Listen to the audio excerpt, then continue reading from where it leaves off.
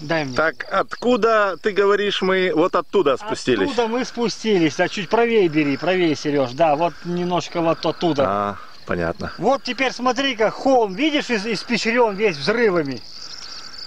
Да. Иди сюда, Сереженька. Вот представь себе, вот это был взрыв от, от снаряда. От гаубицы. Хорошая воронка. Да, воронка Вот. солидная. Это еще при Советском Союзе здесь были учения.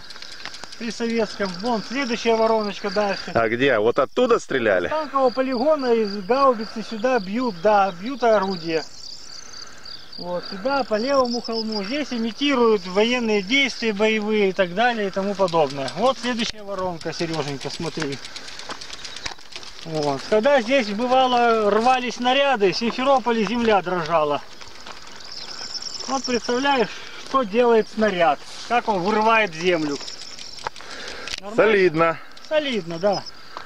А вон там какая-то, этот, мишень какая-то. Ну то не мишень, то граница полигона. А, политического. а по нам сейчас не пульнут? Ты знаешь, Сережа, могут пульнуть, конечно, но может фотоаппарат пострадать тогда. Да.